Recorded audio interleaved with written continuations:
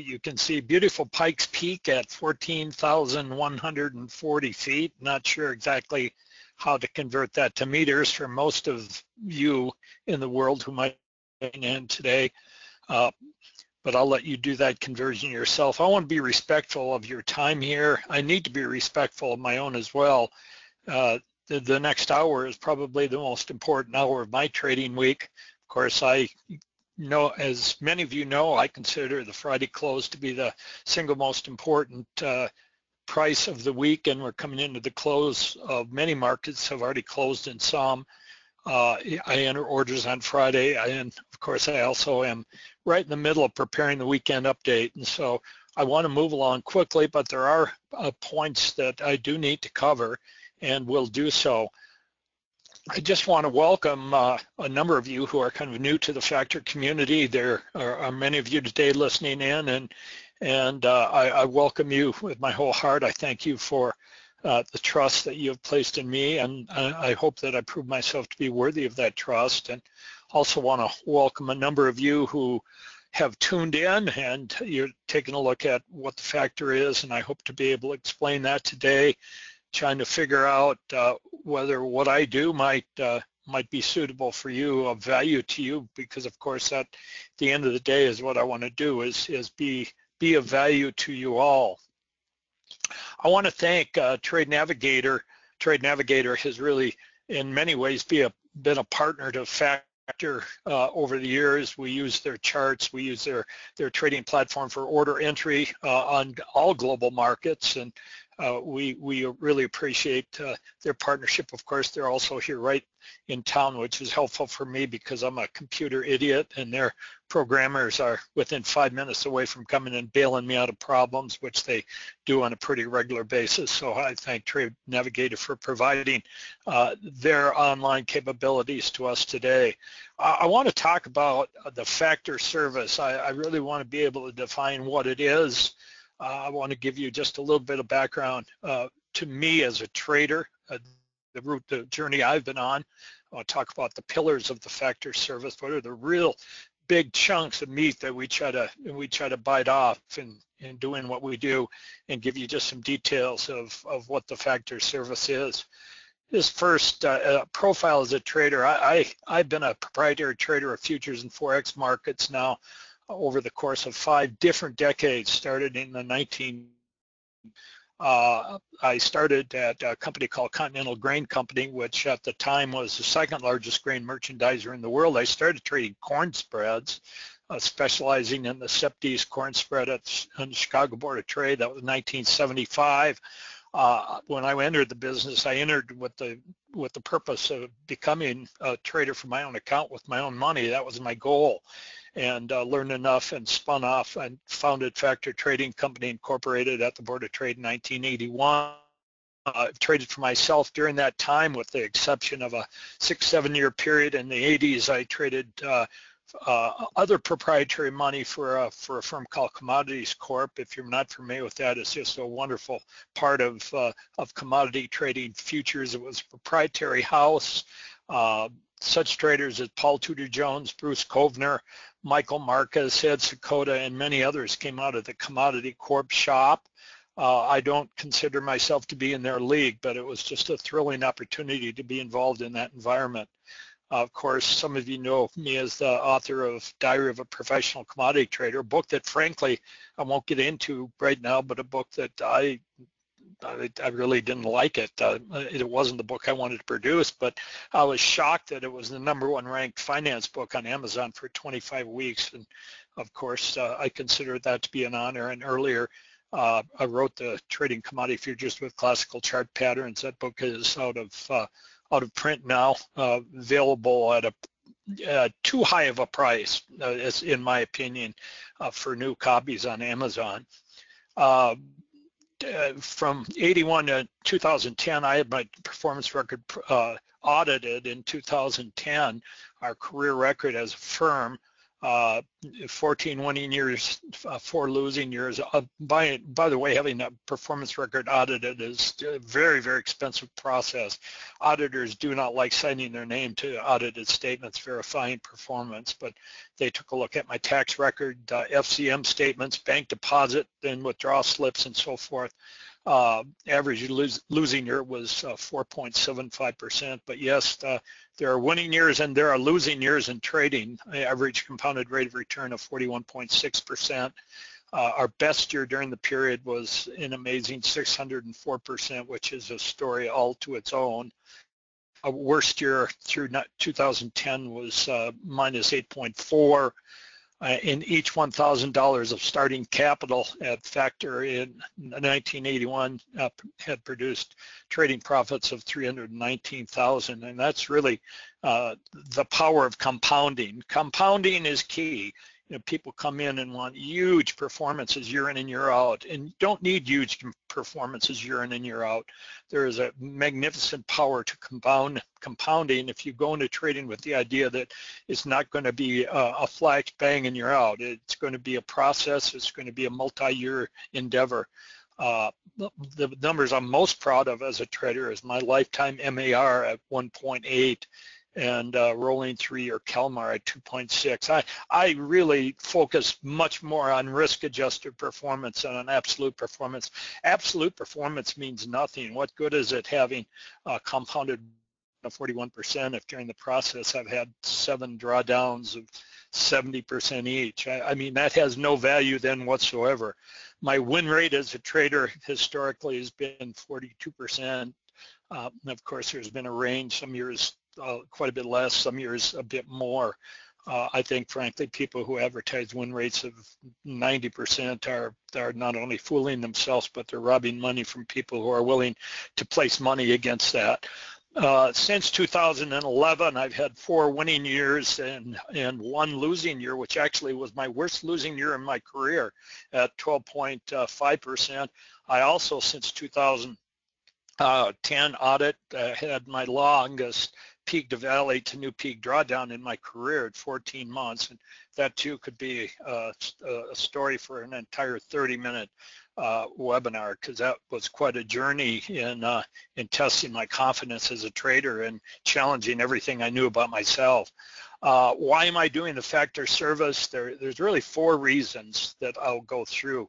One is I think by writing. Uh, I, have written about my trades ever since I became a classical chartist. I've written up every trade I've done.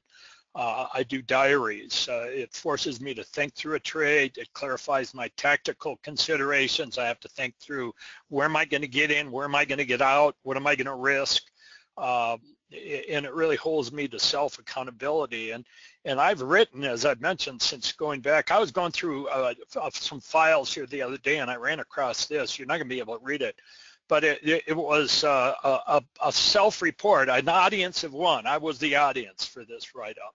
Uh, nobody else saw it, but I wrote up uh, a copper trade that I wanted to do, and this was in June 1979, just after I had really kind of locked into classical charting and this is the kind of thing I've done throughout the years on the trade. I just show you one thing interesting.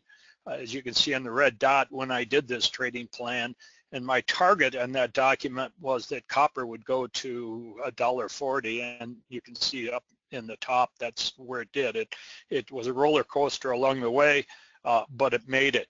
Uh, the second reason is that I plan to retire in January 2020, and I'm, I'm sure my wife uh, will enforce that rule upon me. I, you know, at that point, I will have traded over six uh, uh, decades, and I think that's more than any one mortal human being ought to be able to make claim to. Uh, and you know, I've made so many mistakes over the years. I've been through so much that it, you know, the idea that I'm just going to kind of ride off into the pasture and not be able to uh, have some of the things I've had to go through as a trader provide some benefit to other people uh, for me is just uh, not a not a good thought to have. And so I view the next three and a half plus years as a time for just downloading as much as I can on the things I've learned about the markets. Uh, what I've learned, and of course, mistakes, you make the same mistake more than once, sometimes more than twice, because mistakes have a way of disguising themselves in, in, in a different look. Uh, third reason is just to pay back to some people who mentored me. I, I, would not be where I am as a trader today had it not been for some guys at the board of trade who really invested themselves in me and and eh, you know I, I don't take that for granted I, I take that with all seriousness they they invested in me uh, and uh, I, I made it as a trader I think because of that and, and the fourth really is just a response to so many people, so many frauds that I see in this business. It's absolutely unbelievable. I'm sure like me, you get stuff all the time. You see things on the web, you get things by email going to show you two emails I've got just this week. That's a wealthy day trader talking about going four straight weeks without a single losing day. I mean, the only thing I can think of is, is a trader who's short gamma. And if you're a short gamma trader, you do make money every day, every week, every month, every year until you go broke. Uh, and then on, on the right, a simple system that led me to a 98% win rate. Um, you, you, know, the, the, uh, I'd like to see the performance record, audited performance records, and on. I, I keep a file of this type of thing, and, and that file gets thicker every year. Um, you Factor Service is founded on four really pillars or themes. There's four things I just keep coming back to, and those of you who have been members of the Factor Service on a limited basis for the last two years know this. I just, I return, I return, I return to the same things. Classical charting principles, one, and that's not the way that I see charts today written like they're Star Wars charts. I'm talking about classical charting principles as laid out originally by Richard W. Schabacker who at the time was the editor of Fortune magazine.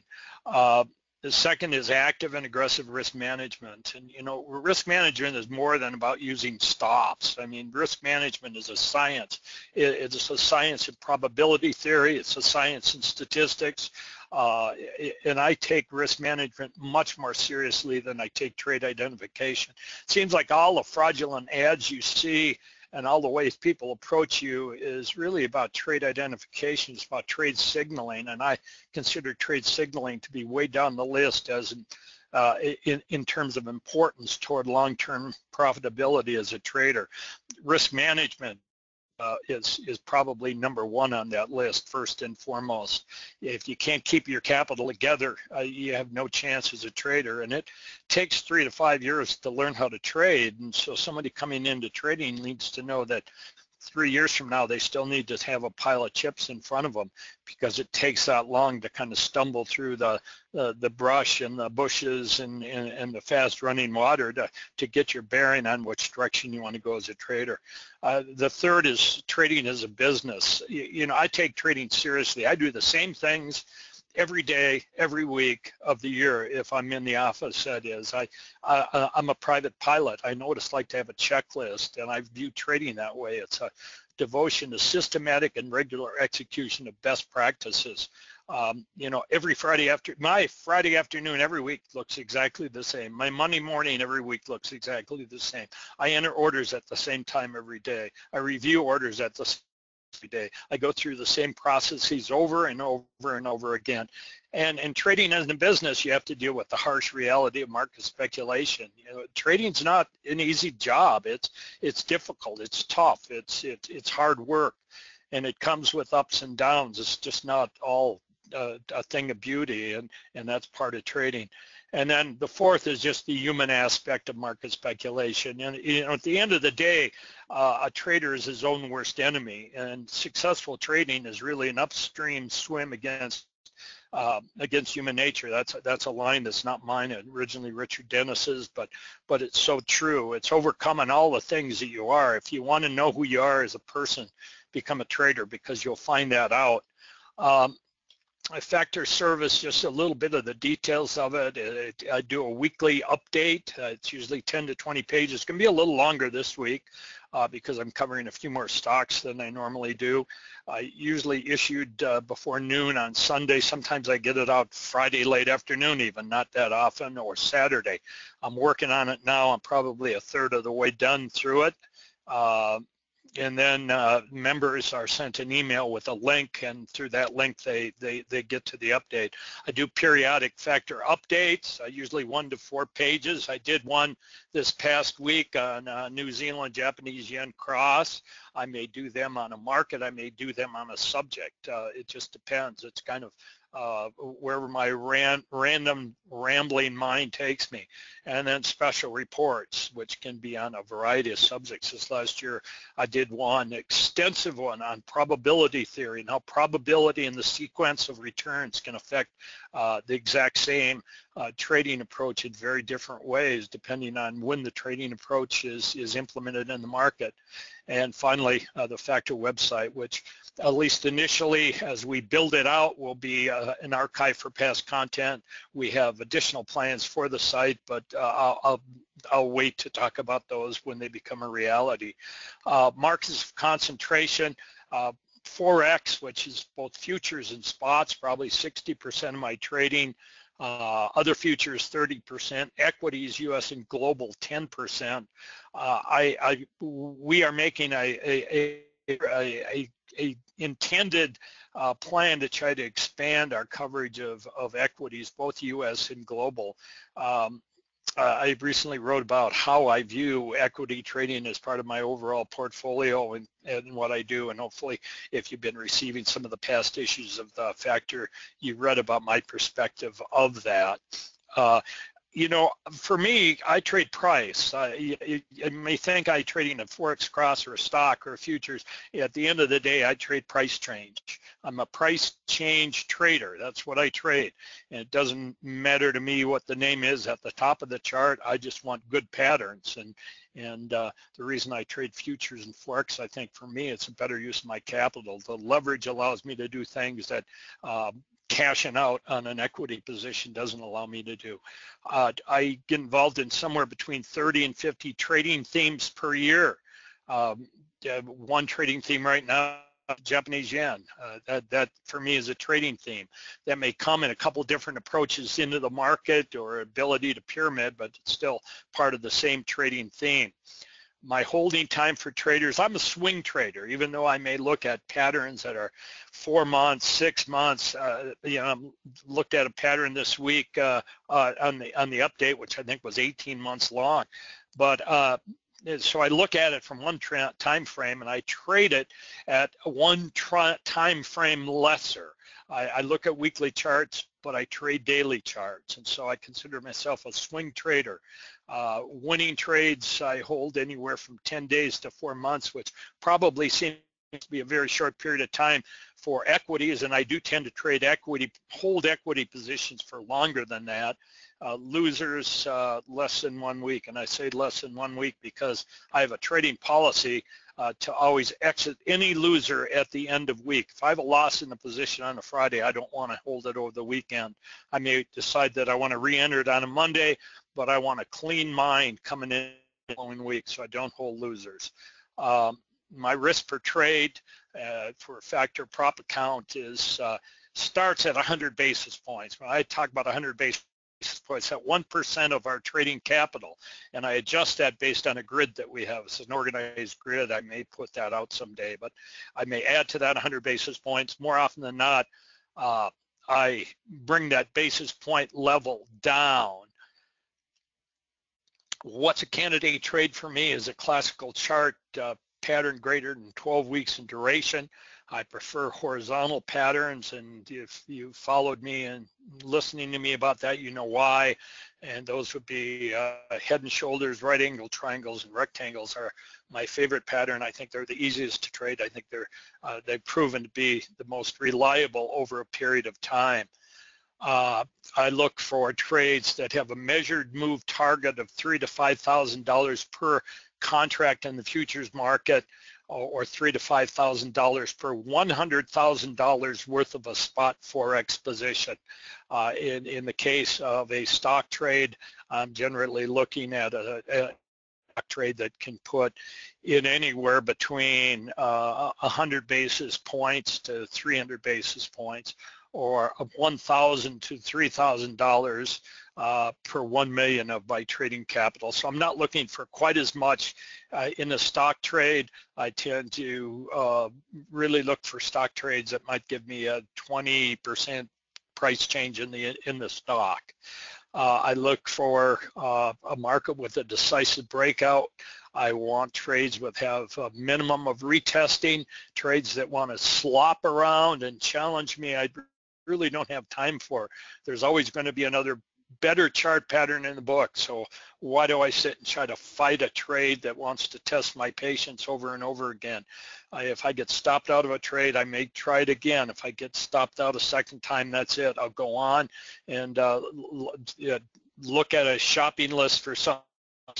Uh, I want uh, trades for me, a good trade is a trade then that has a sustained trend to or beyond price target. My current trade in the Japanese yen is an example. It's a trade that never put me into trouble, not never. Uh, it, it, it's hesitated uh, along the way, but it never put my entry into, into trouble. And for me, it's a market that has given me a sustained trend in the process. Uh, as a trader uh, in, in, my prop trading profile, I'd say that I'm 80% discretionary at the front end of a trade in terms of deciding what a trade is, what a pattern is, what is a trade that I want to be involved in. Once I make a decision that here's a trade that I want to be involved in, I, I'm, I'm, I'm only 20% discretionary, and that's where my rules kick in, and I become uh, for the most part 80% systematic or at least rules based there's a there's a nuanced difference between being systematic and rules based, but I, so I would say 80% rules based. Uh, in terms of my process, just to give you a a feel uh, for what, what it is, uh, every tomorrow is my big day. Uh, today and tomorrow, I'll, I'll go through the weekly charts. Uh, 50 or so futures, contracts, forex pairs, uh, 10 to 20 stocks, and and I'll pick out from those 10 to 15 uh, and flag them. And, and from there, I'll go to the daily chart. I don't spend much time studying chart, frankly. If I don't see a trade in the chart uh, in, in five seconds or a possibility, uh, it's time to move on. Uh, I'm always humored when people talk about going home and studying their charts. I don't really study a chart. Uh, you know, either a trade's there for me or it's not. I don't have to sit and look at it. That 10 to 15 then really becomes kind of the basis of my next week. And so I will then look at uh, five to 10 of those, and those will include uh, the markets in which I have a position and look at those typically at the end of each day. 3.45 to 4 p.m. Mountain Time is really when I do most of my heavy lifting. That's when I look at markets, how are they going to close? Uh, do I need to change an order for the next day? I don't like moving orders around during the day. Uh, I try to place orders and live with them. And then so my orders are placed in, you know, 4 to 5 o'clock p.m. time slot, some cases in the morning because I don't work overnight orders in quite a few markets. I will in some, but not in others. Uh, because it this they become fodder for the high frequency trading operations to pick me off and, and pick my pocket. I don't like my pocket picked. It, it happens once in a while. That's never fun. Um, and then I set, set up text message. You may have some. You may hear some beeps here as we speak, and that's because I've got Forex markets that are rolling. Uh, I, I, set up uh, uh, audible messages in my computer as well as text messages on my phone uh, with all of the key price levels that I want to look at.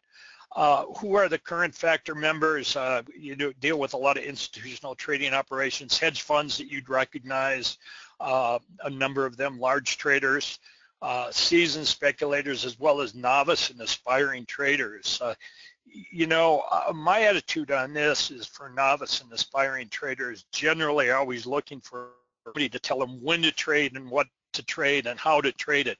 And I don't believe in that, frankly. I, I don't know uh, two successful traders over my career who trade the same way.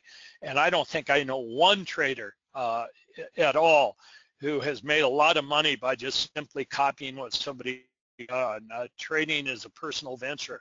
That's why I try not to, you know, hand spoon spoon feed. I'm going to do this here or there, or send out alerts or tweets that I'm buying this or selling that because I believe that if you're going to be successful, I'll give you education. I'll give you ways to think. Uh, I look at the factor as, as really a, a, a, training ground for how to think as a trader. Uh, and uh, th that's especially something novice and aspiring traders need to, need to do.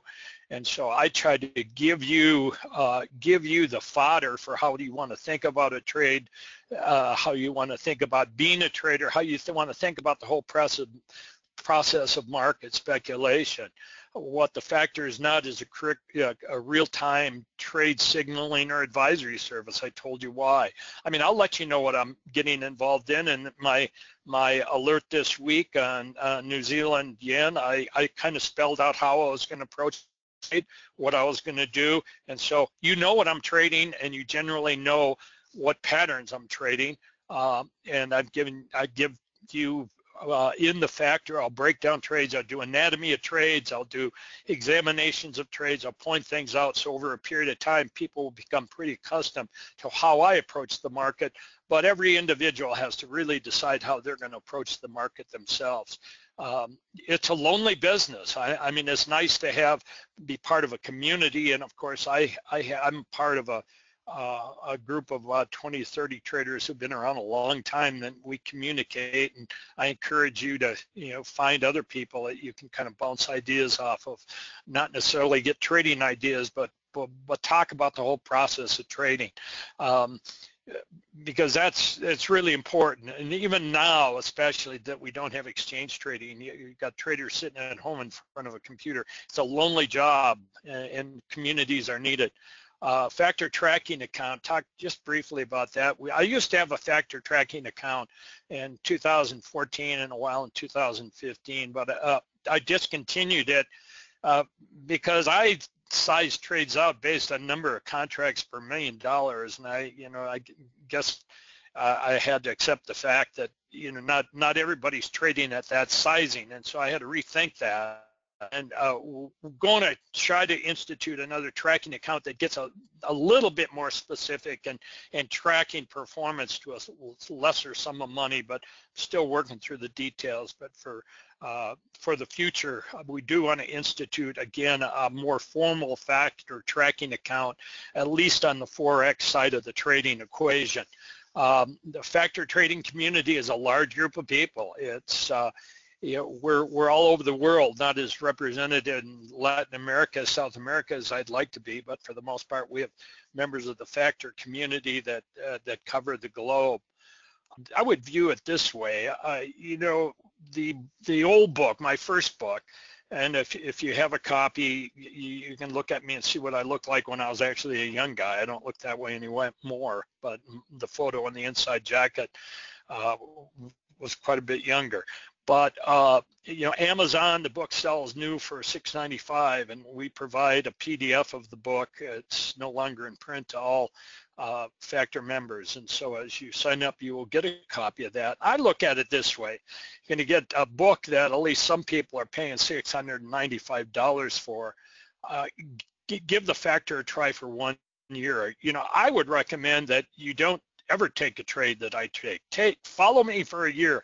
Listen to what I have to say about markets, about speculation, about the process of thinking, about the process of executing a plan, about risk management, about how to deal with, with what's going on inside your head. If you never follow a trading idea from the factor, I, I, you know, I think you will still find your membership to have immeasurable impact on your market speculation. We get emails all the time from people who may be just simply uh, stock traders in Malaysia or Australia or in the US or in the UK. And we what we hear from them is our value to them is not that we said buy this or sell that. It's it's it's in how we discuss the entire process of market speculation. It's it's about that I can go through and point out all the mistakes that I made, and if I can help you avoid some mistakes, uh, that's great because in reality, learning how to trade is a matter of making mistakes. You don't you learn how to trade based on what you did wrong. The problem with that is sometimes you didn't do something wrong and you still take a loss. And so, you know, it takes a long period of time to figure out that do you lose on a trade because you were an idiot and did something stupid or did you lose on a trade because that's just part of trading? And, and, and to even come to the point where you can start recognizing that sometimes takes time and, and maturity as a trader and and so I you know I I'd like to be able to say that you could follow what I have to say and the insight that I have about the markets for a year, not do a single trade that I do and still say uh, you know I'm satisfied and that's what we hear from people who have been uh, part of the factor uh, since January 2014 when we first I first started doing this on a on a more formal basis. You know, our renewal rate among uh, factor members who expire is, is close to 90%. I think that speaks for itself because that's not necessarily all 90% who are trading Forex and futures market. It's 90% among people who, who trade all kinds of markets, including markets I don't trade.